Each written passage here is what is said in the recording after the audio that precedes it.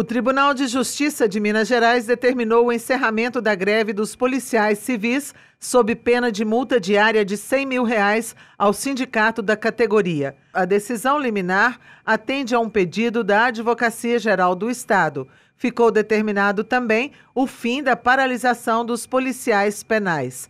Para tomar a decisão, a Advocacia Geral do Estado alegou que a jurisprudência do Supremo Tribunal Federal determinou a inadmissibilidade do exercício do direito de greve, sob qualquer forma ou modalidade, de policiais civis e servidores públicos que atuam diretamente na área de segurança pública.